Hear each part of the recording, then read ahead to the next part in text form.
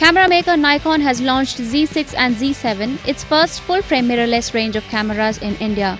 Nikon's brand new FX format camera Z7 fully exploits the unprecedented optical performance offered by the new Nikkor Z lenses and delivers overwhelming edge-to-edge detail in both stills and videos. Nikon Z7 that will cost rupees 2,69,950 will be available in the country starting September 27th, while Nikon Z6 will be available in November at a price of rupees 1,69,950. Here we have Nikon Z7 with us. Let's see what's inside the box. The Z7 is basically a mirrorless version of the famed D850.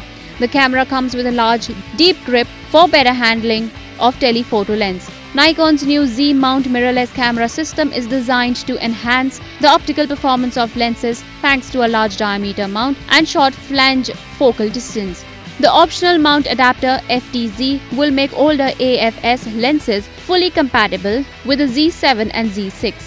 Around 360 Nikkor F lenses are compatible with the FTZ including 92 AFP, AFS, AFI lenses that enable shooting with AF and AE as stated by Nikon. Z7 has 493-point hybrid AF system with superb focusing accuracy and the new EXPEED 6 image processing engine. Camera's 3690K dot quad VGA electronic viewfinder provides a clear view and quite comfortable shooting experience. Z7 with its 10-bit N-Log as well as 4K UHD and 8K time-lapse movie that requires third-party software is designed to meet demands of video creators too.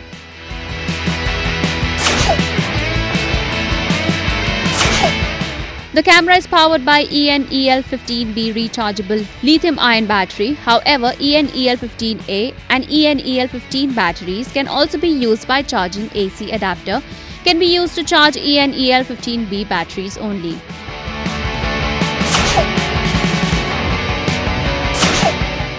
The camera's body weighs around 585 grams and with battery and memory card weighs around 675 grams. It is 5.3 inches wide and has a height of 4 inches and depth of 2.7 inches.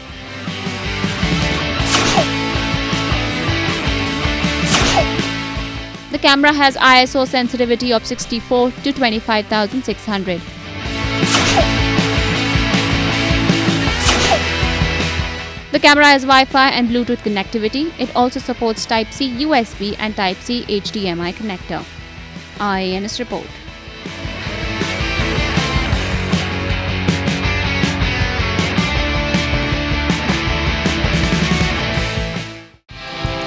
Subscribe to our channel. Just click on the bell icon for all the latest updates.